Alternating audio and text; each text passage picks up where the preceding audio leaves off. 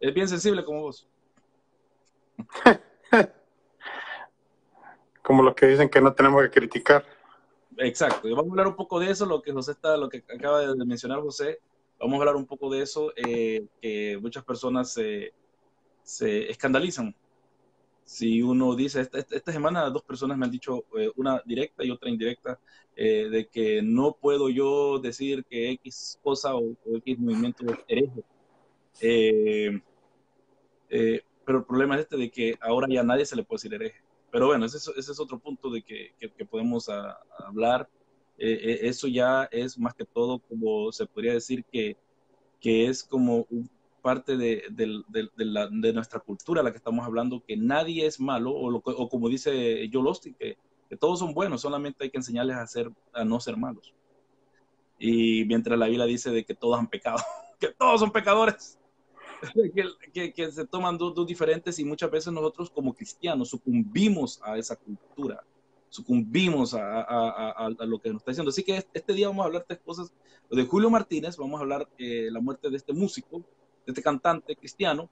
Vamos a hablar también de la herejía, que es la herejía un poco. Yo he hecho un, todo un podcast acerca de la herejía, así que yo solo voy a estar resumiendo puntos con respecto a eso. Y lo voy a invitar a que cuando, cuando, cuando yo suba esto a YouTube, eh, que les invito a que sean miembros de YouTube, eh, eh, también que nos sigan en, aquí en Facebook, tanto a José Villalobos y a mí. síganos porque nosotros publicamos cosas para interés de estudio bíblico. También en luisjoel.com, yo les invito a que se hagan miembros de, de luisjoel.com, que lo estén revisando y si tienen una pregunta, antes de, antes de mandarme a preguntar a mí, yo les invito a que hay un buscador ahí y, y, si ustedes quieren saber escatología, pues pongan el término escatología y búsquenlo. Eh, igualmente, si quieren saber acerca del, del, sionismo cristiano o de la teología de reemplazo, mal llamada teología de reemplazo, eh, eh, más que todo ese es un término usado por los detractores, pueden, pueden poner eso y, y, van, y van a ver y, y se van a topar con una sorpresa que Jesús, aparentemente por lo que él decía, Jesús es específicamente, José, de la teología de reemplazo. ¿Por qué, José? ¿Por qué, por, qué, por, qué Jesús es, la e, e, es, de la teología de reemplazo, José Villalobos? Ah, bueno, eh, después, después de, del nacimiento de, de, nuestro Señor Jesucristo, las cosas cambian. Eh, también porque ah, Israel rechaza al Señor Jesús.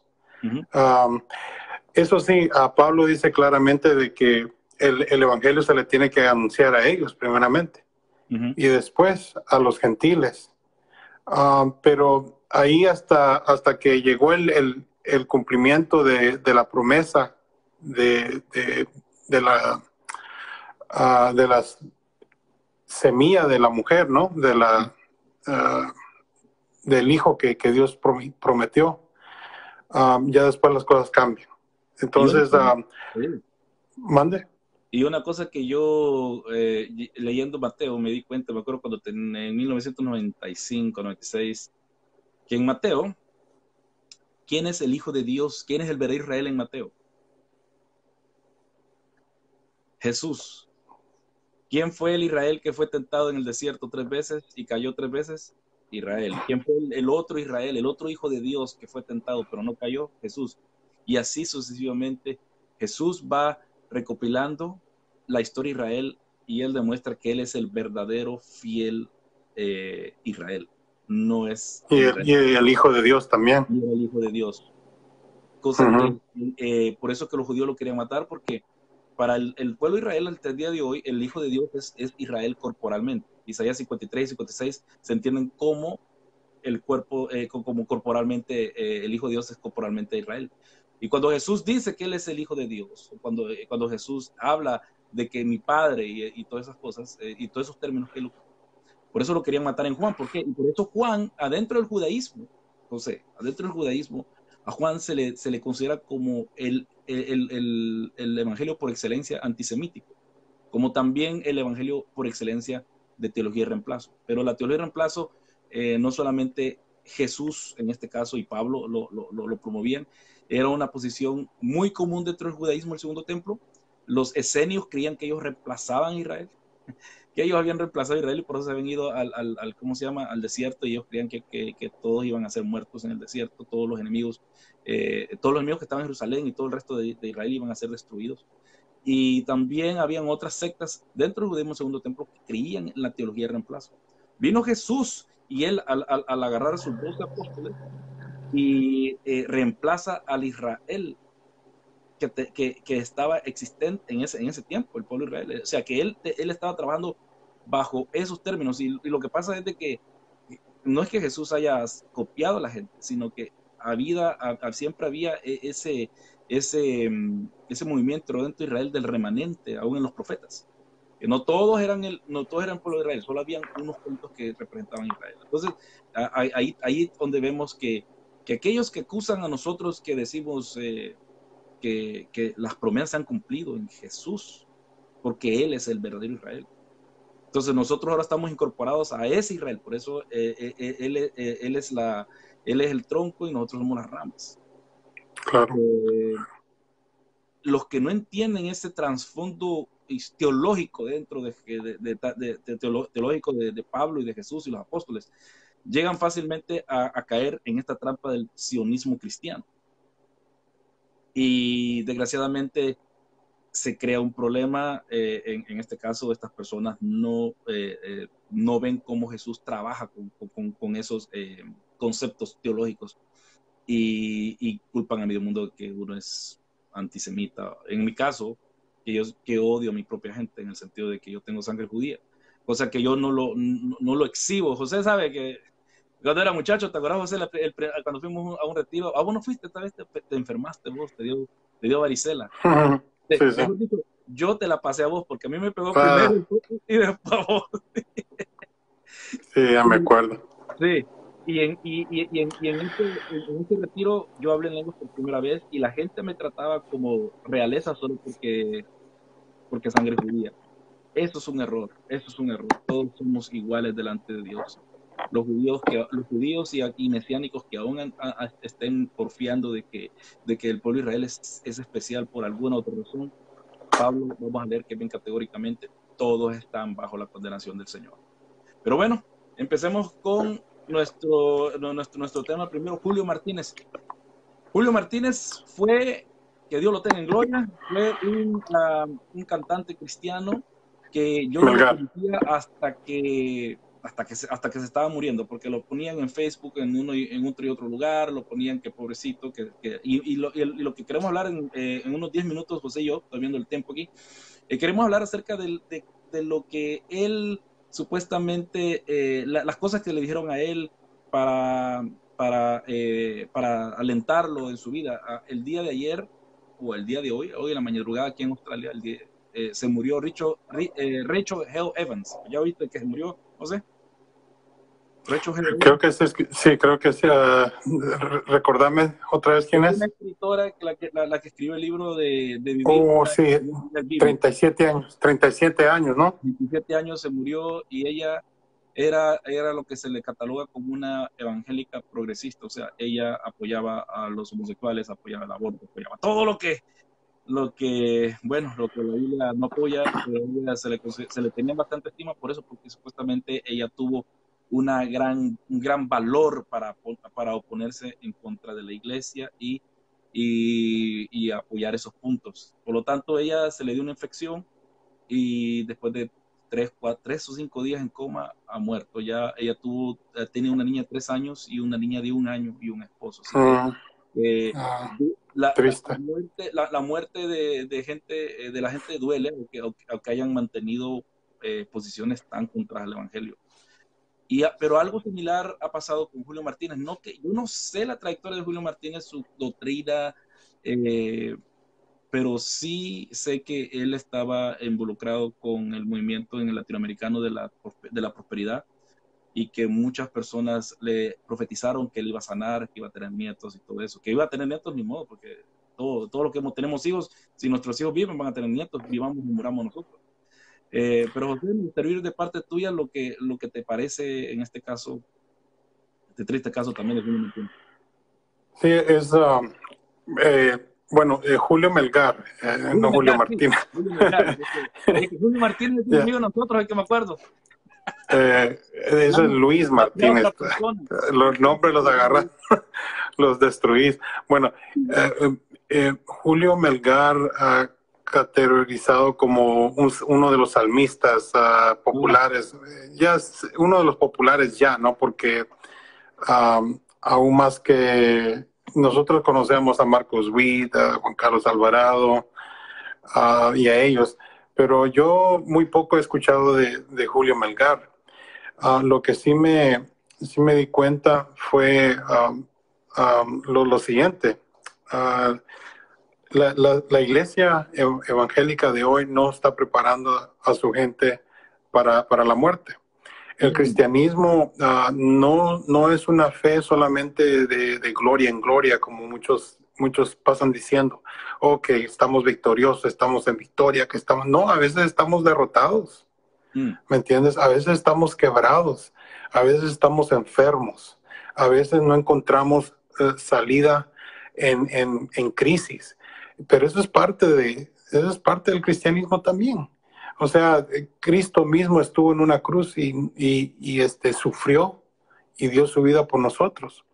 Ah, entonces, ah, por eso es de que ah, es una pena que, que yo, yo vi la tristeza de, la familia de este hombre, ¿no? Porque claro, se duelen y, todo eso. Y, pues entiendo hasta cierto punto a todos ellos, aquellos que le profetizaron que, que Dios lo iba a sanar, que Dios lo eran, ellos no estaban profetizando, ellos solamente estaban expresando sus deseos, mm. ah, y que es bueno, ah, pero, pero se tienen que, que eh, no se pueden confundir una profecía con, con, el deseo de una persona, ¿verdad? Pero es, es, la forma en que muchos evangélicos operan. Ellos tienen un sentimiento y piensan que Dios eh, va a hablar por ellos. Um, sin, sin ah, ponerse a meditar, porque la Biblia dice de que todo lo que tienen una, un mensaje en lengua o una profecía, pues tiene que pasar por ah, el criterio de las escrituras, si no, mejor callémonos, cállense, no digan nada. Ah, creo que sí hubo una persona que más o menos y, con mucha pena y, y, no sabía qué hacer, pero sí que le estaba diciendo prácticamente que él iba a morir. Eh, no le dijo así de una vez, ¿me entiendes? No le dijo así de una vez, pero él con mucha, con, cohibido, con pena, eh, dice, yo, me, yo sé que muchos te han dicho esto, pero, pero prepárate para, sí, para lo que viene. bueno, ah, pero, o sea, la muerte, la iglesia para la, muerte la hace ver como, como, ¿me entiendes? Como el fin. No, no es el fin, es el principio para, para alguien que tiene esperanza en Cristo. Pero eso es el problema, José. Yo veo que muchas personas, el cuidado pastoral, la falta de formación pastoral, eh, eh, les profetizan a la gente que Dios te va a sacar de esto, que Dios. Y, yo creo que más allá de, de, hablar por Dios, que no sabemos qué es lo que Él quiere para las personas, es mejor decir, aquí estoy, te doy, dice la Biblia, llorar con los que lloran. Y a no queremos llorar con los que lloran. Eh, vemos a la persona que está enferma. No, yo no quiero llorar. Yo quiero que tú te creas que tienes. y tenemos un mandato. La, la, Biblia siempre es más bíblica. Y cuando vos mencionaste acerca de Jesús, del, del sacrificio de Jesús, cuando Pedro, en 1 Pedro dice que, que mirad, mirad a, a, Jesús, a, Jesucristo, que él no haciendo ningún pecado, él sufrió. Y nosotros vamos a sufrir. Jesús no tenía pecado, por lo tanto él no podía morir, él, iba a seguir viviendo, pero lo, lo, mataron, lo mataron. En cambio nosotros somos pecadores, entonces el pecado nos consume. Es, Y, y, veamos que Jesús se dejó matar sin tener ninguna culpa para eh, darnos vida a nosotros. O sea que tenemos que agarrar ese ejemplo. Ese ejemplo es bien duro, a veces eh, es bien fuerte porque la gente siempre quiere decir, miren, ustedes son buenos y por lo tanto Dios los va, los va a levantar. No, la, realidad es que eh, Pedro dice, somos malos. Y, somos, y, a mí me gustaría que se leyeran por esa, esa canción que dice de Marco Witt, mas el Dios de toda gracia, ya está viejita, que nos llamó a su gloria eterna, os perfeccione, pero dice, en, Pedro dice, después de haber sufrido un poco más, después de haber sufrido, pero con Marco Witt y todas estas personas no creen que el, cristiano debe de sufrir o puede sufrir porque nuestro Padre no nos va a dejar sufrir, eh, llegan a estas conclusiones erradas. No, pastor. Y, y fíjate que yo estaba pensando que eh, como cualquiera, Luis, somos, somos humanos y, nos equivocamos y yo puedo entender a toda esa, eh, toda esa bola de, profetas, ¿no? Que ellos quieren buscar una, ah, quieren buscar una oportunidad de, brillar y por lo tanto se, exponen a estas cosas, a profetizar sin, sin que Dios hable por ellos, ¿me entiendes? Y ellos dicen, bueno, dicen ellos, si sana, ya la hice, me voy a hacer famoso. Y es, es parte de, de, ser, de ser eh, hombre, de ser mujer, ¿no? Ah, sí va a pasar esto y va a pasar esto, y cuando eso pase, uh, este, eh, todo, eh, todos van a escuchar de mi nombre y esto y lo otro. Bueno, pero ahora que, que ya no sanó él, la gente dice, no, pues no, no hablen en mal de estos hombres. Uh, porque no es bueno, esto y lo otro, y ya pasamos al, otro, al otro tema que uh, no, hoy, hoy en día no se puede criticar porque uh, todos se sienten. ¿Me entiende? La crítica nos hace mejor. Eh, cuando a mí me cuando a mí me critican mis profesores o, o, me critica vos o, la mujer, Dios mío, uh, nos hacen mejor. No, nos hace mejor. O sea, ok, entonces eh, algo está mal en mi, en mi manera de haber hecho eh, esta, esto o, esto otro. Entonces voy a hacerlo diferente, voy a hacerlo mejor. ¿Me entiendes? Esa es parte de la crítica. Y hoy en día hay muchos cristianos que dicen, hermano, no anden criticando, que no sé qué, que no sé. Uh, ¿Me entiendes? Uh, no voy a usar la palabra que usé cuando, cuando hablamos en privado, pero sí ah, como que uh, como que están, están haciendo como que son, son bien sentidos, son snowflakes. en inglés se dice snowflakes, ¿no? Son bien, son una... Copos de nieve. Sí, han, han hecho, uh, están convirtiendo a los cristianos en, en, en uh, gente tan sensible, ¿me entiendes? Uh, y por eso yo me pregunto, um, ¿seremos capaces de, de, de pasar por vituperio por causa del nombre de Jesucristo y no estamos preparados para esas cosas, no estamos preparados para dar nuestras vidas uh, por Cristo. Si cualquier cosita nos ofende. Sí, entonces, entonces para terminar el, el, el, esta sección de Julio Melgar, no Martínez, Julio Martínez es aquí en Australia, es un pastor aquí en Australia, por eso es que yo estaba ahí eh, y hemos hablado de Julio Melgar y de repente ahora que, me, que, me, puse aquí puse Julio Martínez porque ahora en la tarde me estaba acordando de este hombre. Eh, bueno, fue pastor, fue pastor, dicho, este señor ya, no, ya, no, lo es, desgraciadamente. Eh, eh, Julio Melgar, entonces, la Julio Melgar ya murió, así que que Dios tenga misericordia de él, que yo creo que si él aceptó al Señor Jesús, él está en el cielo. si, si él estuvo hasta el final afirmando su fe en Jesús, si no lo negó, yo creo que el Señor Jesús es fiel y verdadero y lo, y lo tiene en su gloria. Pero ¿qué pasa con los que quedan aquí abajo? que profetizaron y que hablaban en el nombre del Señor que Él iba a ser sano. No, les pasa nada. No les pasa nada. no, no, no van a tirar videos o, escribir nada diciendo, ¿sabe que me equivoqué? Uh, discúlpenme. Ah, la Biblia es clara y dice que, que, el, que el que se tira de profeta y, y, y, no se cumplen las cosas. ¿Me entiendes? Sí, uh, son falsos profetas, eso de, andar profetizando no, no, es de cualquiera, o sea, y, ellos, ellos toman esto como un juego. Y, y ahí la, la, falta de seriedad a las, y la falta de amor a la palabra de Dios. Y, eso lo, ese es el peligro. Ah, también la falta de amor al prójimo, porque mi, abuela se murió de, de, cáncer, la abuela de mi esposa se murió de cáncer, mi suegra se acaba de hace, de octubre se murió de cáncer.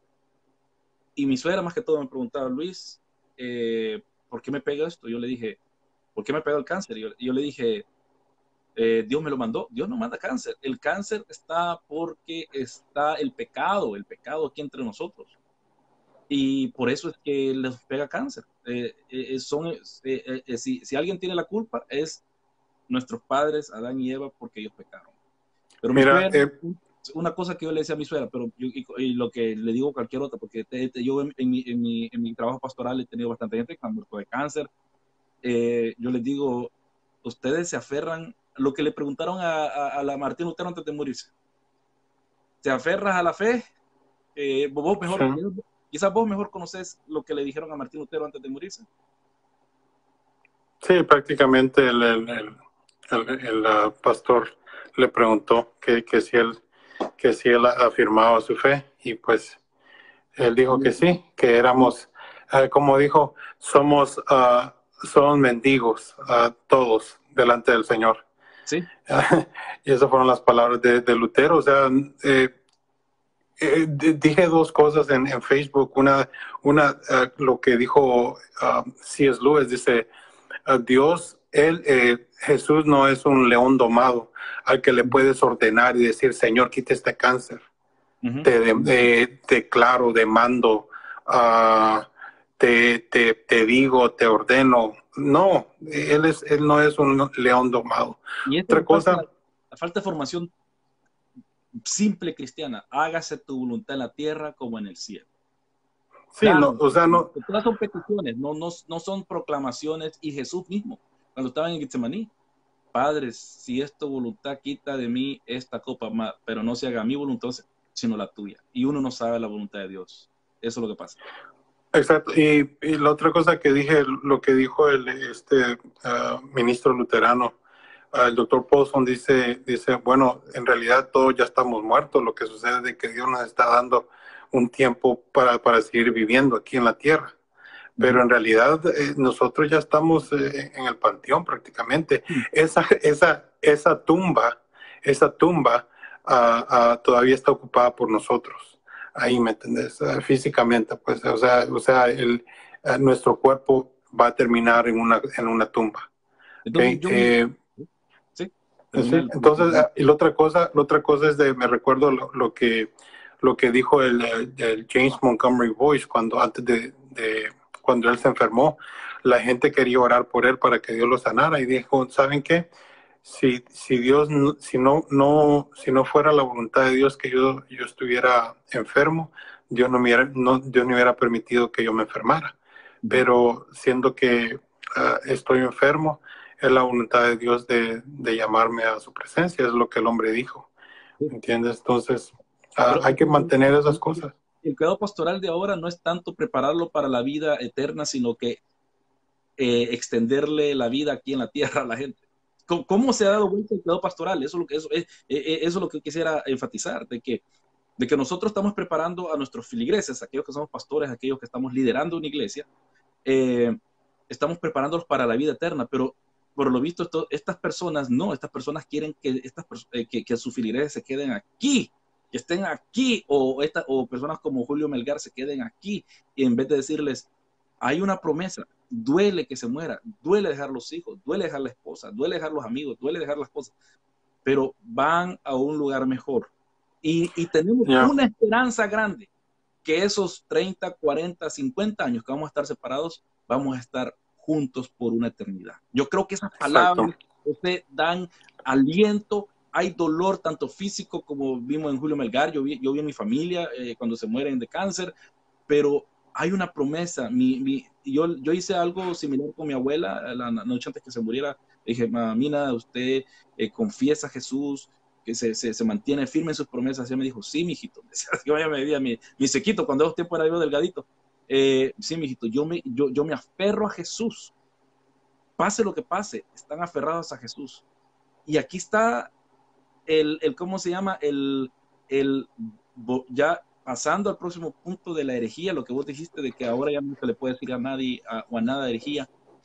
Yo me pregunto que si no tenemos nosotros convicción lo que es real y falso, podremos nosotros decir entonces que tenemos convicción a lo que nos espera en el más allá. Si no tenemos convicción de que hay un cielo y la tierra y aquellos que lo niegan eso se llama herejía porque están cambiando los fundamentos de la fe cristiana. Eh, no tenemos esa convicción, entonces, mm, eh, eh, como decís, eh, estamos como el mundo, que el mundo siempre dice, todos pensamos diferente, todos pensamos diferente. La iglesia primitiva era cerrada y ahora que cuando uno quiere decir esto es lo que el cristianismo histórico ha, creído o, la posición bíblica, la gente dice, no, no, no, no, no, eh, eh, eso, eso es tóxico. No podemos decir eso. Tenemos que enfatizar de que hay, hay diferencias. Sí hay diferencias. Hay diferencias como con respecto que vamos a cantar, cómo adoramos, pero aún ahí, José, aún ahí, Dios ha dejado una forma de adorar, pero ahora la gente quiere adorar como les pega la gana, porque es como ellos sienten, como, como, como, son edificados. Y una cosa que yo admiro de los luteranos es eh, el, el, servicio divino, como ustedes le dicen, el servicio divino. Y el servicio divino Dios ha, ha dicho cómo hacerlo. No es como yo quiero hacerlo. No es como yo. y, va, y va más allá de eso, Luis. A, eso también nosotros le llamamos Gottenstein, el trabajo de Dios, mm. Gottenstein. Entonces, en alemán, sí, eh, el trabajo de Dios. Es Dios viene y nos sirve a nosotros durante el servicio, prácticamente. y más que todo en la mesa del Señor. Exacto. Eh, entonces, cuando, cuando, eh, cuando hablaban de este hombre, eh, que Julio Melgar, que, que él, él, él venía y llevaba al pueblo de Dios a la presencia de Dios, yo vomitaba en mi boca, como dice.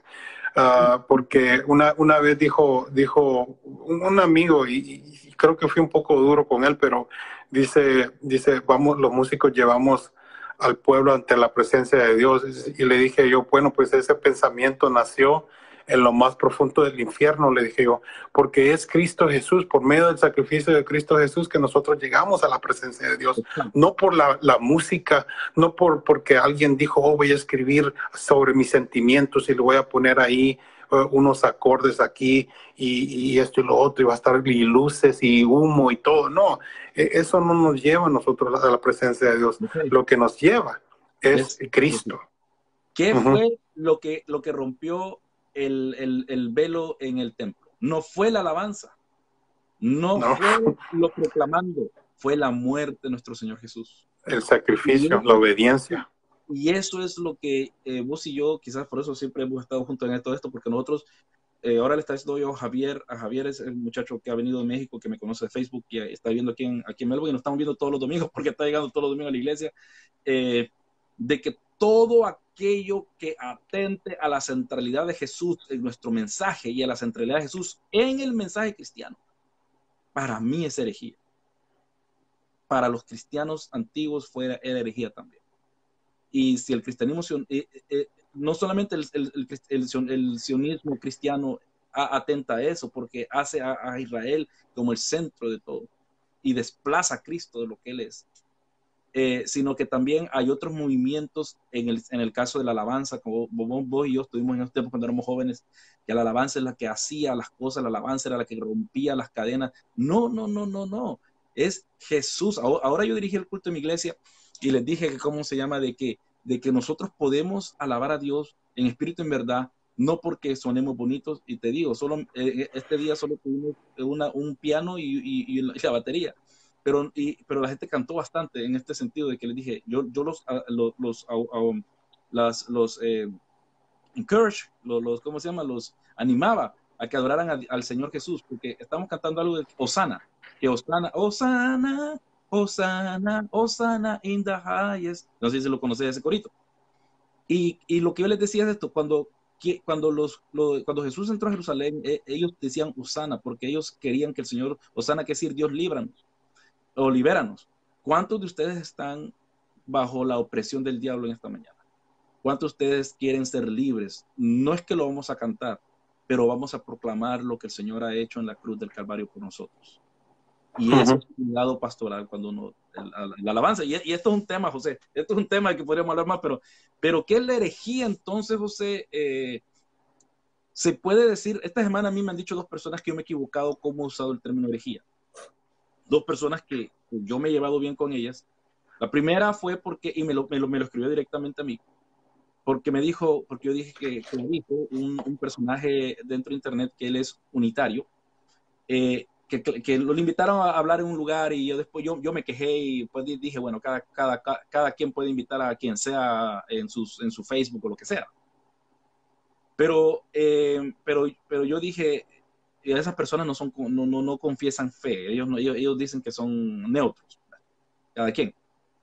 Y entonces eh, yo, yo, yo dije que clavijo comunitario eh, promueve una herejía. Y una persona que yo admiro, que, que yo aprecio mucho, porque hemos hablado por, por, Facebook, eh, así en audio, yo aprecio porque, aprecio porque es una persona que también él mantiene una, una doctrina similar. Pero me dijo que yo no podía hacer herejía porque porque entonces le estaba tirando a él y también porque, eh, porque él no cree eso, que él cree que la Trinidad fue una, fue una formación teológica que tomó tiempo para llegar a, ese, a, esa conclusión. Cosa que yo no creo, sí. Yo creo que en la mente de Dios ya existía eso. No podemos decir que, que, que, es una conclusión teológica que llegó la, la, la, iglesia, porque Jesús bien claro dice que en el nombre del Padre y Espíritu Santo, Él reveló lo que era Dios dentro de sí. Entonces, esto no, no, no fue una conclusión teológica, sino que fue lo que, que tú mismo nos reveló. Bueno, ese fue uno. El segundo fue de cuando yo puse simplemente la carátula que vamos a poner como estemos haciendo, porque yo creo que vamos a hacer dos, una vez más, vamos a hacer dos eh, videos acerca del, del, sionismo cristiano. Vamos a hablar de lo histórico y después vamos a hablar de lo bíblico. Y, yo puse la carátula una herejía que se rehúsa a morir. Y otro personaje dentro de, de, de, aquí de Facebook que también me respeta, yo lo respeto también, hizo un video eh, donde no me menciona a mí. Pero, pero prácticamente menciona lo que yo puse, así que rápido, rápidamente me, me, identifican. Y, y, la razón por la cual José y yo estamos haciendo, vamos a hacer lo del cristianismo eh, sionista, es porque Zoraida José nos preguntó, ¿te acuerdas? Zoraida, una amiga de nosotros cuando yo tenía 13 años y José tenía 15 una amiga que la tenemos de amiga de Facebook, ella nos preguntó a nosotros dos que si nosotros podíamos hacer un, un estudio acerca de eso. Entonces, esa fue la intención, no para tirarle a esta gente, sino que para poner un poco de perspectiva de lo que al menos el cristianismo histórico ha creído. Y también, ¿por qué no decirlo? Lo que el cristianismo histórico también ha daño que ha hecho quizás a Israel. No, no quizás, lo ha hecho Israel. Por erradas conclusiones teológicas. Pero la cosa es que la herejía es algo que está vivo y coleando. Es muy fácil decir herejía a aquellos que como, lo, como por ejemplo los testigos de Jehová que niegan la Trinidad, que niegan que hay una que, que, después de la muerte, eh, que, que, afirman el aniquilacionismo y todo eso. Antes el aniquilacionismo se consideraba una herejía, pero ahora no, ahora se, se, se, dice que se tiene que aceptar como una posición eh, más dentro del espectro cristiano. ¿Verdad? Nosotros hicimos dos videos, cuatro videos hicimos al respecto. Herejías, entonces herejías. La herejía es eh, en, en, griego y se, y, y se, y se, y se eh, esto es un resumen de, de, lo que escribí yo, eh, lo que está en mi podcast. Nueve veces en el Nuevo Testamento y tiene muchos significados. Tiene tres tres. No, eh, no, no, yo creo que hay que, hay que, hay que ponerle en cuenta eso. Escuela, eh, se, le, se, le, eh, se, le, dice herejía a una escuela de pensamiento secta de los saduceos en Hechos 5.17, los fariseos, Hechos 15.5 y 26.5, los nazarenos o cristianos, Hechos 24.5, 28.22. Pablo atribuye a sus detractores que le llaman el camino, Pablo atribuye a sus detractores que le llaman al camino secta, dando a entender una temprana negatividad de la palabra. Así se, así, así se entiende la, la, la, palabra secta. Después, la, segunda, porque son tres, tres, tres eh, formas de entender esto. La segunda, una ruptura, cisma o partidismo, como lo vemos en 1 Corintios 11, 11 19, Gálatas 5, 20, y, y, a mí me llama, me llama la atención en Tito, Tito 3.10, donde se le dice hereje a una persona que crea divisiones. Entonces, eh, y, pero finalmente es según de Pedro 2.1, que eh, esa sí la voy a tener que leer porque no me, no, no, me acuerdo cómo dice, según de Pedro 2.1, que es la, la, la, la, que el cristianismo ocupa ahora. Según de Pedro 2.1 dice así. Pero se, levantar, se levantaron falsos profetas entre el pueblo, así como habrá también falsos maestros entre vosotros, los cuales encubiertamente introducirán herejías destructoras, negando incluso al Señor que los, que los compró, trayendo sobre sí una destrucción repentina. Así que ya Pedro, ya según de Pedro, eh, que ya es más, más adelante que, que, los otros libros mencionados, que Hechos y que las cartas paulinas, eh, ya la herejía ya es considerada algo destructor, algo que destruye al pueblo de Dios. Y eso es lo que ha pasado con, con, eh, con, digamos, en, cierto, en, ciertos, en ciertos círculos, y eso lo vamos a ver cuando veamos el, el punto histórico del sionismo cristiano. El sionismo cristiano así como el cristianismo en el pasado, el sionismo cristiano ha atacado a cristianos, ha destruido la vida de cristianos. En el Medio Oriente, eh, los cristianos del Medio Oriente, que son los cristianos más antiguos que existen, han declarado al sionismo cristiano una herejía. Esos son los cristianos que han sufrido más en carne propia el sionismo cristiano. Porque el cristianismo eh, dispensacionalista en general ellos prefieren ver que Israel está renaciendo y que está haciéndose bien, eh, que, está, este, que está prosperando, pero les importa un comino sus hermanos en la fe. José. Ya, um, so, este, este es un problema para mí porque, eh, eh, como lo, lo, he pensado antes, es una, es, creo que este movimiento es, un, es una es un intento de, de, respaldar un movimiento político poniendo bases teológicas. Y, pienso de que las bases teológicas no están, no están firmes, ah, porque como hemos, hemos hablado antes, el Israel de Dios son aquellos ah, que tienen fe en Jesucristo. Uh, punto. Aquí tengo los versículos.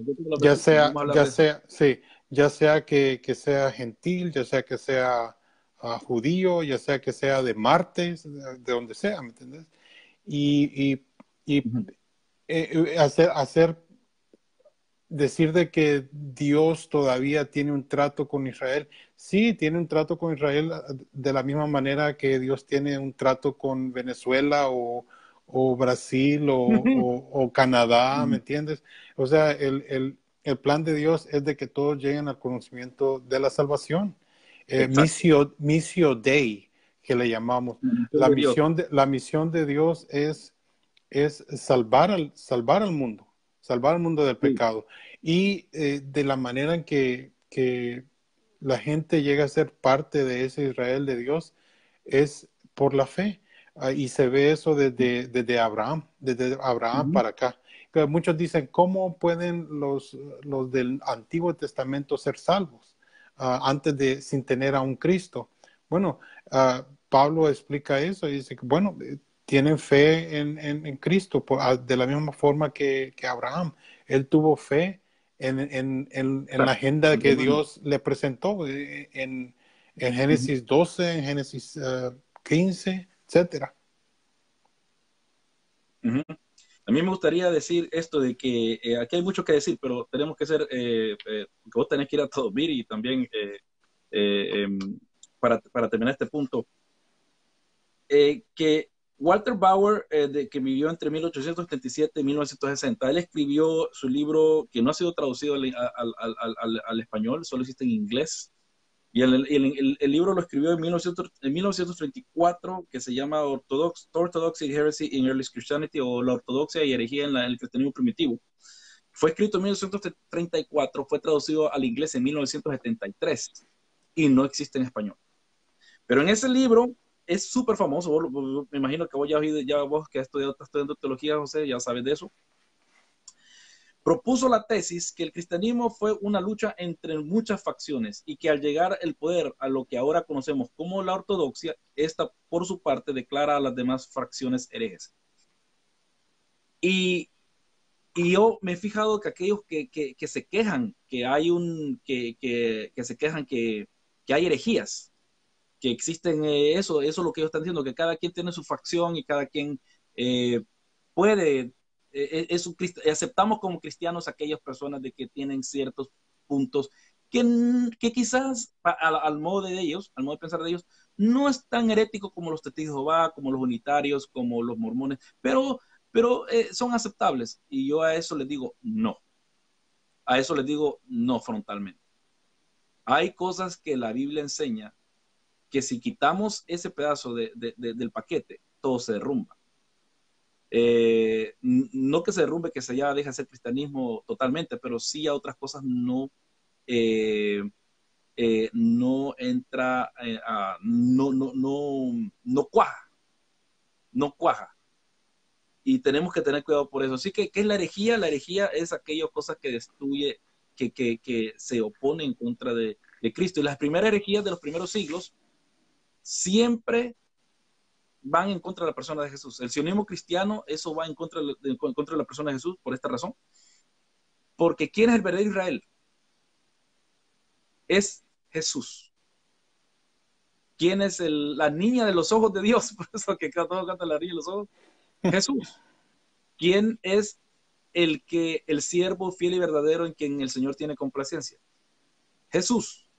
¿Quién fue el siervo que, pasó por el desierto y no pecó? Jesús.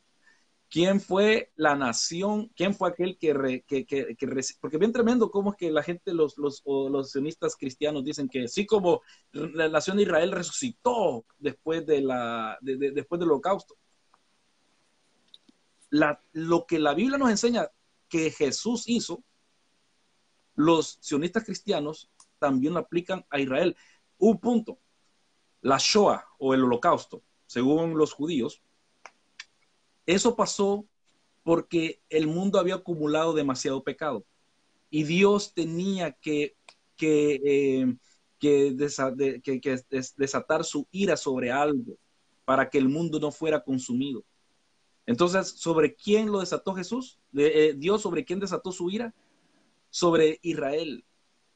Pero al morir Israel, tipificando a los seis, a los seis millones de judíos que murieron, renace como nación.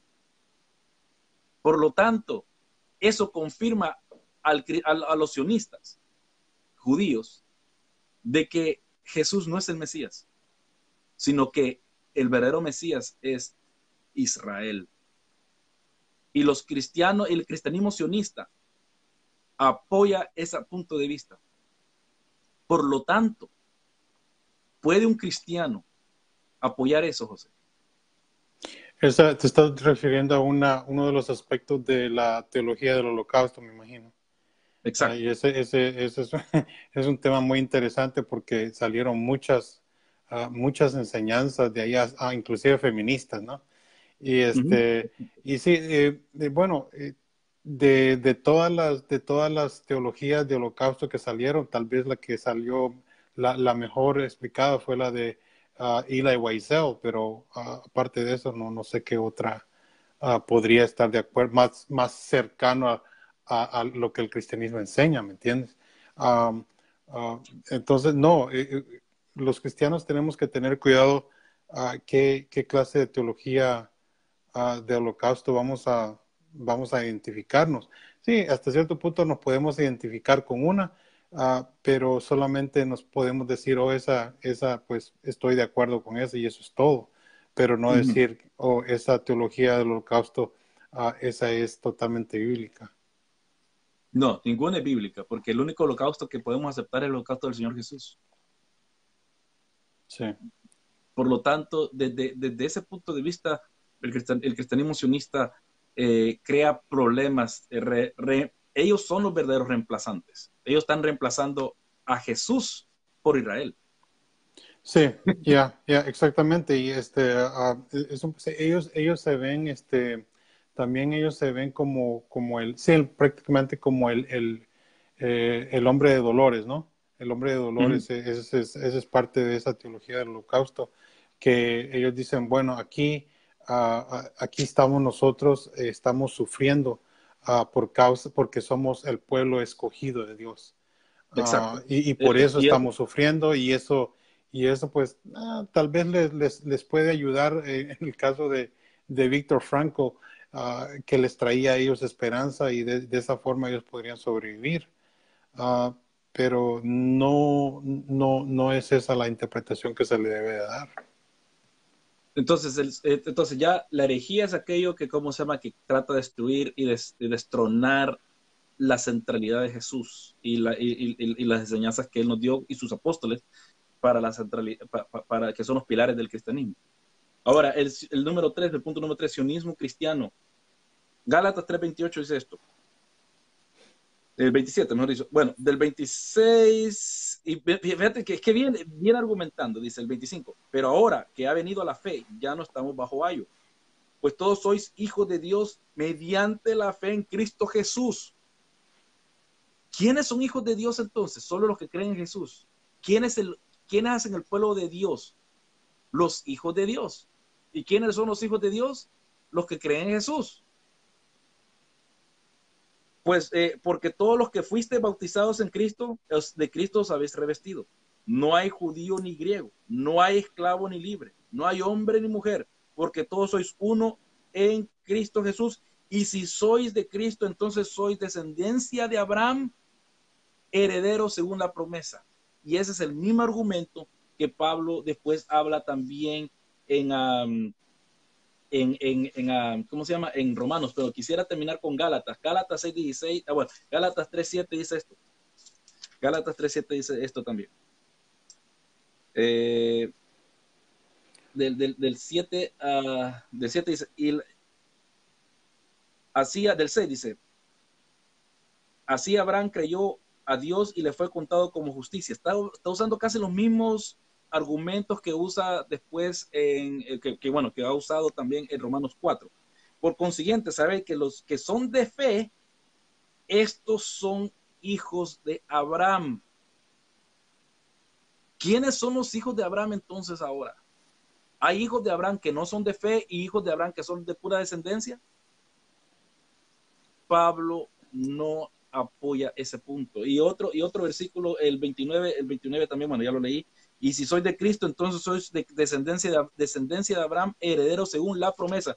Y hay, y, hay otro, ¿cómo se llama? En, en, Gálatas eh, 6.16 dice así, un punto bien tremendo que dice, y a los que anden conforme a esta regla, paz y misericordia sea sobre ellos y sobre todo el Israel de Dios. ¿Quiénes son los, quiénes son los hijos de Dios? Aquellos que tienen la fe de, de Abraham en la promesa. ¿Cuál va a ser el verdadero Israel? Aquellos que están hechos de esas personas. Y una vez más en Romanos 2, del 9 al 11, yo solamente estoy queriendo poner eh, bases. Yo sé que eh, Pablo también habla, habla del judaísmo, de, en capítulo 9 mucha gente habla, ah, que Pablo habla de los judíos, eh, que, que, ellos aún están bajo el plan de Dios, bajo el plan de salvación, como vos dijiste, José, como todas las otras naciones. Todos están bajo el plan de salvación. 9.11 dice, eh, eh, eh, de Romanos 2, 2 del 9 al 11. Habrá tribulación y angustia para toda alma humana que hace lo malo, al judío primeramente y también al griego, pero gloria y honor y paz para todo el que hace lo bueno, al judío primeramente y también al griego, porque en Dios no hay excepción de personas. Si el cristianismo sionista está correcto, entonces sí hay excepción de personas, José. Sí hay una excepción que es con el pueblo judío, cosa que no hay. Y finalmente me gustaría leer también del versículo, el capítulo 9, versículo 5 al 8, dice, de quienes son los patriarcas y de quienes según la carne procede el Cristo, según la carne, el cual está sobre todas las cosas, Dios bendito por los siglos de los siglos. Pero no es que la palabra de Dios haya fallado, porque no todos los descendientes de Israel son Israel ni, si, ni, si, ni son todos hijos por ser descendientes de Abraham, sino que por Isaac será llamada tu descendencia. Esto, esto es, no son los hijos de la carne los que son hijos de Dios, sino que los hijos de la promesa son considerados como descendientes. Porque, está, eh, porque esta es una palabra de promesa. Por este tiempo volveré y Sara tendrá un hijo. Y no solo esto, sino que también Rebeca, cuando conciba mellizos de uno, muestra nuestro padre para Isaac. Porque cuando aún lo mellizos, bueno, ya habla. Y me, y me llama la atención el versículo 13, tal como está escrito. A Jacob amé, pero a, Esaú aborrecí. Y este, y, y, y hay un, este hermano está, eh, ha hecho un libro, no lo he leído, lo, lo que leer después, eh, que, que, así ha titulado su libro. Que él quiere explicar eh, los problemas que hay con respecto al antisemitismo eh, y, los, y las confusiones que hay dentro de, de muchas personas de que, que se oponen en contra de Israel. Yo puedo decir que aquí hay un judío de descendencia, mi persona hablando, de que nosotros no somos nada especiales. Nosotros necesitamos a Cristo tanto como los gentiles. Todo el mundo necesitaba a Cristo. Hasta ahí dice Pablo, acaba de decir que todos han pecado, dice antes, antes en el por ahí, por ahí ya va diciendo, por cuanto todos han pecado, todos han sido destituidos de la gloria de Dios. Yo no veo al judío ahora que no conoce a Cristo más cerca de Dios que el gentil que no practica ninguna religión. Entonces, bueno, hasta cierto punto nosotros vamos a, vamos a, a, decir de que nosotros estamos en, en, contra de cualquier clase de antisemitismo, para empezar, uh, pero también uh -huh. debemos de, de, reconocer algo. Um, sí, los, los, el, el, pueblo de Israel hasta cierto punto sí, sí tienen uh, muchas cosas especial, ¿me entiendes? O sea, son gente que por medio de, de, la sabiduría que Dios les ha dado por todos los, por todos los años, por todos los ¿me entiendes? Uh, siglos, um, ellos han, han, han, recibido sabiduría de, de, Dios, eso no se va a negar. Al punto, Luis, uh -huh. de que, eh, como dijo alguien, la única, eh, la única nación que ha permanecido como nación sin tener, eh, sin tener bienes y raíces, sin tener un Estado, sin tener un, un pedazo de tierra que digan, a este es Israel, ha sido el, el pueblo de Israel ellos se mantuvieron uh, en la diáspora, en, la, en, en todas esas es, circunstancias que estaban afuera de ese territorio que, que ahora llamamos. Israel, ellos se mantuvieron una nación. Eso no se puede decir de cualquier otra nación. Uh, uh quitarle, quitarle la tierra a los Estados Unidos y, y deja de ser Estados Unidos. Quitarle la tierra a -huh. Australia, deja de ser Australia quitarle la tierra a Israel, ellos siguen siendo Israel, siempre va, van a ser Israel. -huh. uh, y eso es por la, por la fe que ellos tienen, que, que, que recibieron de, de, sus, de sus antepasados. Uh, pero una vez más, um, ellos también están bajo la, la, la, maldición del pecado, ellos también, ¿me entienden?, necesitan un Salvador. entonces, tenemos que poner las cosas en, en, en perspectiva, ¿no? y no, no vamos a decir de que, de que uh, Dios tiene un, un, plan especial para ellos y no para, y no para, digamos, Guatemala o Honduras. No, Dios tiene un, un, uh -huh. un, un plan para todos. Uh -huh. Dios Por no eso, es racista. ¿no? De ese, de ese sí, Dios no es racista. Dios no es racista y no tiene preferencias tampoco. Y claro, se le predicó primero al judío, primeramente, después al griego, porque los primeros cristianos eran judíos. ¿Y por, qué es que, y, por, y por qué es que los judíos querían matar a Pablo? Porque Pablo cuando en, en su discurso en Jerusalén dijo, por tanto, eh, después de, que, de que, que, Dios lo ha mandado a los gentiles, y eso los, los, eh, los judíos de Judea uh -huh. no toleraron, no toleraron sí. eso, no, no, porque ellos querían, y hasta el día de hoy solo quieren que ellos solo, ellos rechazan el plan inicial de Dios cuando dice de que por medio de tu descendencia serán benditas todas las naciones. Y, y, ellos rechazan eso porque ellos no quieren que todas las naciones sean benditas, bendecidas por Dios. Y lo vemos en Jonás. Jonás es, es, es, una, es un ejemplo de cómo el sentir judío, eh, porque Jonás era judío, eh, cómo ellos, cómo se llama, ya eh, no querían que fueran bendecidas o que Dios tuviera misericordia de, en este caso, eh, eh, donde, donde el Señor le, le dijo que fuera. ¿A dónde fue? A Nínive. A Nínive. Que, que, que, no quería que fuera. -huh.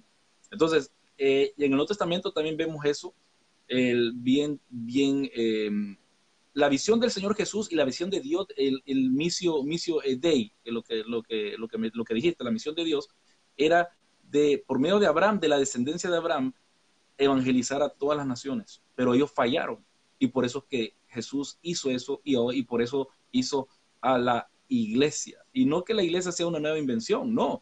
La iglesia, por eso nosotros creemos que la iglesia es la continuación, no es el reemplazo, sino la continuación de la promesa de Dios. Dios ha sido fiel y aquellos que han sido, eh, porque la gente dice, ah, es que ustedes dicen que ya los gentiles han reemplazado a Israel. No es que aquel que tiene la fe de Abraham es hijo de Abraham. No solo aquellos que son descendientes de la carne. Y yo creo que esa ha sido una cosa como una gran muralla que mucha gente no puede entender. De que ahora, según Jesús y según el apóstol Pablo, aquellos que tienen la fe de Abraham son los que son hijos de Abraham, no los que son simplemente descendientes. Ya, acordémonos de que, de que los, los religiosos se creían tan especial porque eran judíos, ¿me entiendes? Que eran descendientes de Abraham. Y el Señor les dice, no, pues eh, Dios de estas piedras puede levantar hijos de, de, Abraham. O sea, les está diciendo ahí, ustedes no tienen nada, nada, nada especial. Lo único especial de ustedes fue que Dios hizo, hizo su pacto con, con Abraham y Dios, y Dios está ah, honrando ese pacto que hizo con Abraham. Ustedes no han hecho absolutamente nada para merecer esto. Y por eso es de que se le predica primeramente al judío. ¿Por qué? Porque el pacto fue hecho con, con Abraham. Y porque Dios, Dios es fiel a su palabra, a lo que Él ha dicho, a lo que Él ha decretado. Ah, entonces, por eso es de que se le predica primeramente al judío y después al gentil. Así es. Sí. Y es, y, es, algo, y es algo natural que primero al judío, porque el judío sabía acerca de estas promesas. Exacto. Y por lo tanto, eh, y por lo tanto estaban más propensos a aceptar eh, esto. Y lo, pero, pero para ir terminando ya. Eh, el sionismo cristiano, como yo lo veo, yo, yo, no sé vos, José, pero como yo lo veo, desde desde, eh, reemplaza con Israel la centralidad que Jesús se merece y debe tener. Entonces, yo, para mí, la teología del reemplazo es esa la teología del reemplazo, no lo que ellos le llaman que la teología del reemplazo es que, que Dios, que, que ahora la iglesia reemplazó a Israel. No, la teología del reemplazo es de que se reemplaza a Jesús como el centro de la profecía, como el centro de la Biblia, por el pueblo de Israel. Ese es, ese es, el, ese es el error que hicieron lo, en Gálatas, ese es el error que también los hebreos estaban expuestos, ese es el error que Pablo eh, eh, peleó ahí en, en, ¿cómo se llama?, en, en Filipenses. Eh, ese es el error que ahora los ha embaucado a muchos cristianos. Y es el problema, como lo que he estado hablando acerca de Limud y también lo que hablé años atrás de David Diamond. Los cristianos ven una estrella de David o ven, o ven algo, o, ven, o, ven algo que, parezca judío, rápido, agarran papa y es de Dios. ¿Verdad? Sí, ya. Ah, otra cosa hay que, hay que Sí. otra cosa, eh, la, pregunta simple, ¿no? Ah, la, pregunta simple es, ¿a dónde está Jesús en todo esto? ¿Me entiendes? Ah, y nosotros somos cristocéntrico. dónde? está Jesús en todo ¿Dónde está Jesús? Eh, exacto. Este, eh, entonces, ah, o, se, está usando, se están usando ciertas, ciertas ideas bíblicas para reemplazar simplemente a un, a un movimiento político. Y si es que quieren ellos respaldar a un movimiento político, está bien que lo hagan, no, no, no les decimos que no pero que no usen, ¿me entiende?, pretextos para, para hacerlo, que lo hagan por, la, por, la, por las razones correctas. O sea, yo, yo considero que Israel es, un, es una nación, eh, una de las más decentes tal vez entre, entre todo el montón de ahí. Tal vez ahí estemos en, eh, desacuerdo vos y yo. Uh, pero sí, se, se, puede, se puede decir de que, de que Israel vive en medio de, enemigos. Eh, todas esas naciones árabes no son amigos de Israel, eso ya se sabe.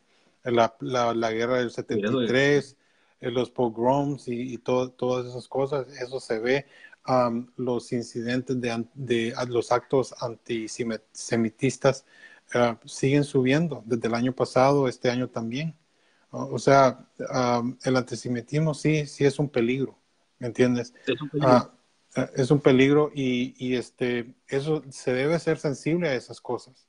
Ah, pero hay que poner todo en su lugar, hay que poner todo en, su lugar, como también, eh, como, también el, el, el, la matazón de cristianos está cada año subiendo también, pero eso los cristianos sionistas no se fijan en eso, no, no.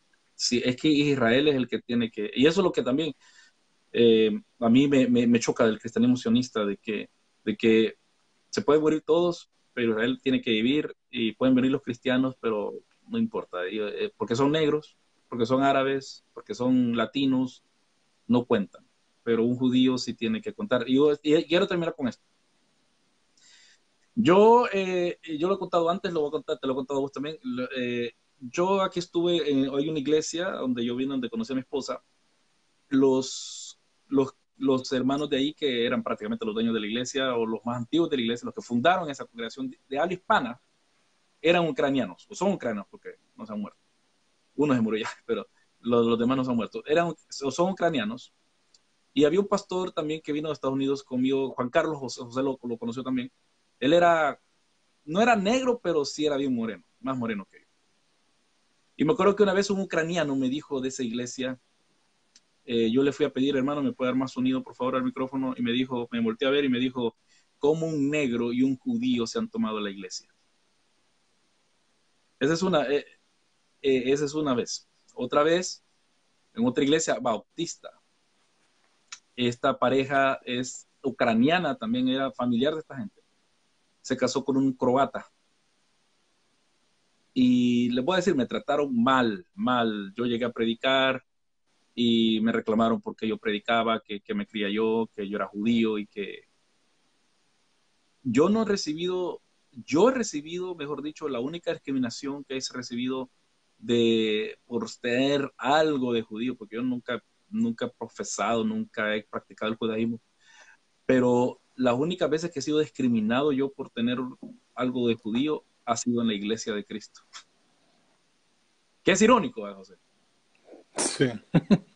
nunca me han, nunca me han raciado afuera de la iglesia, pero sí en la iglesia. Y yo, y puedo contar otras, otras veces también que hay, hay personas aquí en Australia, en Estados Unidos nunca me pasó eso, pero sí en Australia, eh, que me han raciado por, mi raza o por lo que soy, por el apellido, eh, porque rápido se dan cuenta que uno es judío o yo le digo, no, yo soy cristiano, yo soy pastor cristiano. Y a mucha gente, me recuerda lo que pasó en, Alemania, que no les importaba de que eran pastores, ¿te acuerdas, José? Eh, igual los mandaban a campo de concentración.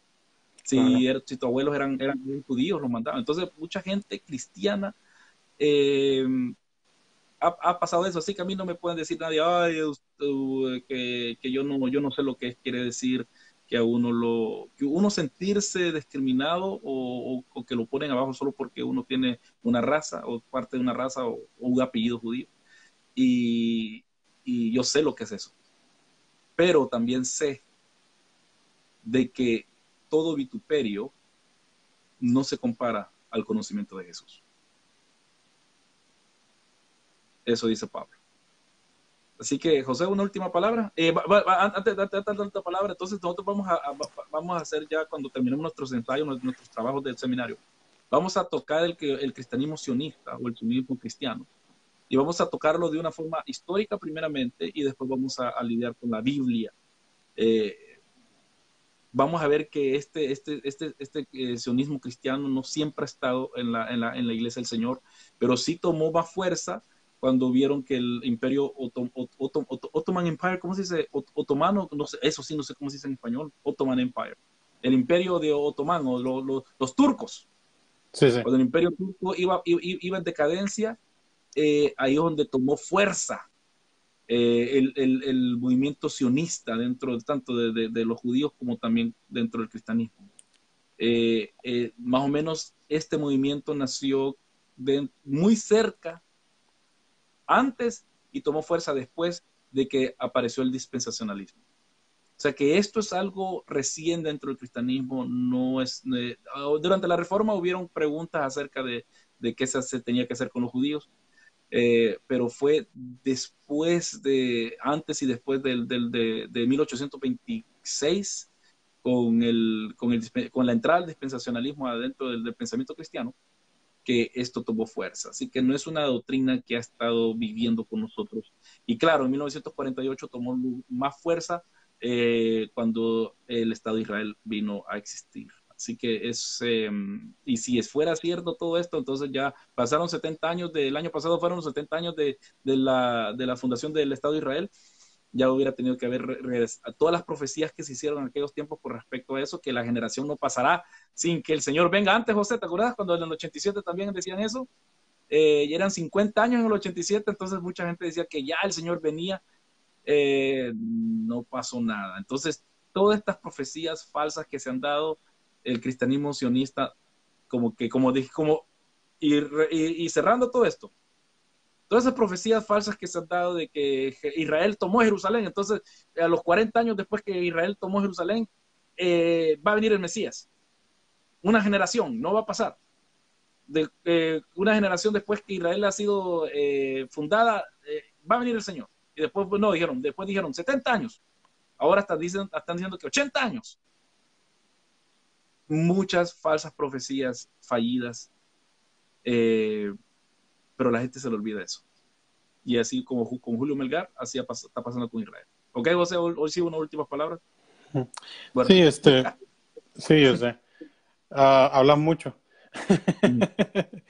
Mm. sí, eh, yo quiero decir de que ah, mantengamos siempre, siempre en mente de que pues eh, nos podemos equivocar, ¿no? Siempre tenemos que regresar a la fuente y, y de revisar de vez en cuando nuestra teología, nuestro, nuestra, inclusive nuestra política.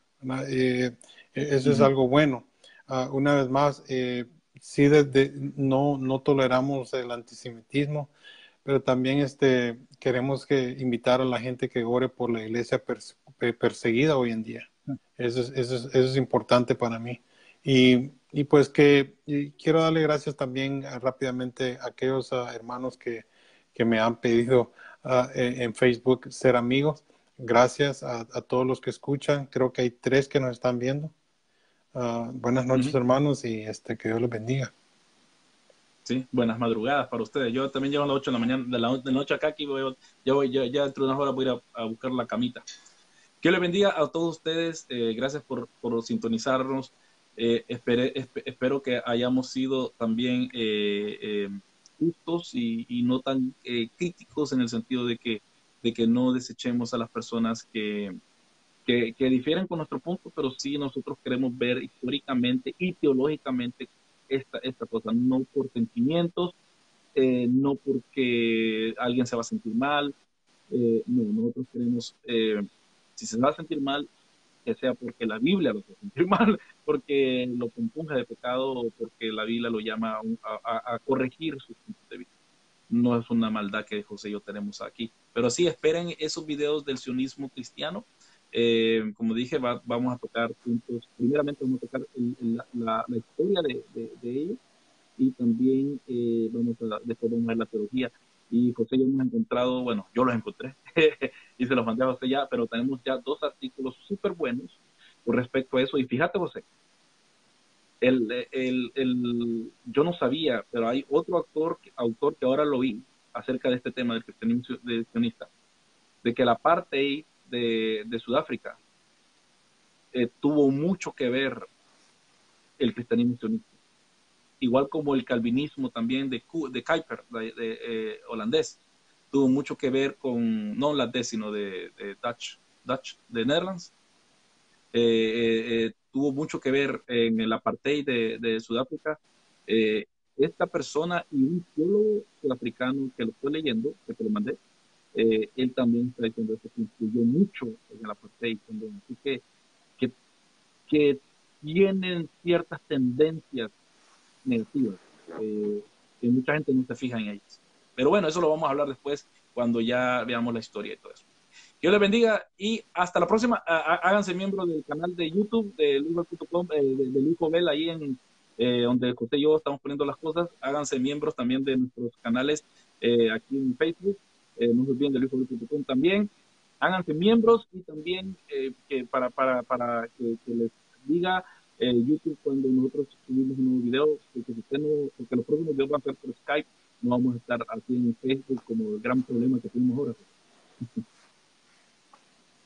para, que, para, no tener esos problemas de que se nos cae la conexión o algo pasa. Que Dios les bendiga y hasta el próximo.